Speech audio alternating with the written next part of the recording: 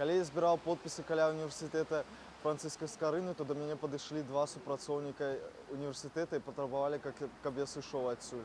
Я адмовіў. Тады яны мне сказалі, што яны вызовуць міліцыянтаў. Э, Я казаў, што пускай вызываюць міліцыянтаў.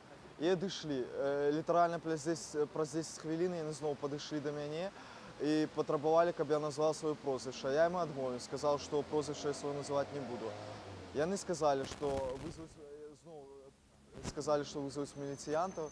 Я сказал, хай вызываюць міліцыянтаў, я покажу ім э, пасведчанне сваё э, чальца ініцыятыўнай групы Некляева і пашпарт.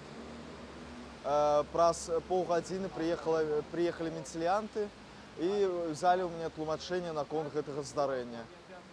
Са слоў міліцыянтаў гэта не падабалася рэктару універсітэта, таму што ён знаходзіцца яго кабінет э, знаходзіцца менавіта ў гэтым корпусе. Таму яму гэта не падабалася. Вся ситуація складаецца з таго, што э, кіраўніцтва універсітэта, напэўна, ці ахраннікі не ведаюць закон, выбарчага закона і актаў, якія прымаюцца гомельскім гарадскім выканаўчым камітэтам.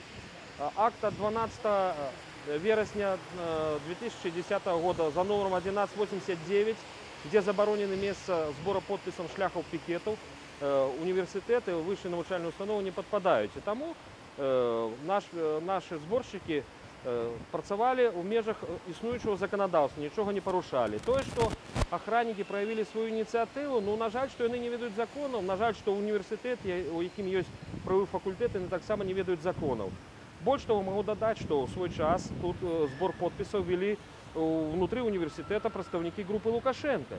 Вось, і ніякіх пытанняў не было. Тут звонку ёсць пытанне. Ну, напэўна, рэктару не, не, не спадабаецца, што не за таго кандыдата збіраюць. ну гэта яго права не спадабацца, але ён не павінен парушаць законаў.